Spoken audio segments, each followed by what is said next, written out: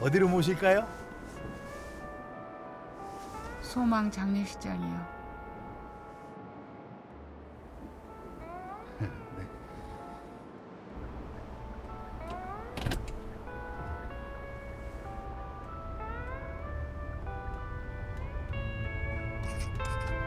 제희에게 오랜만에 엽서를 보내게 되었구나. 잘 지내니?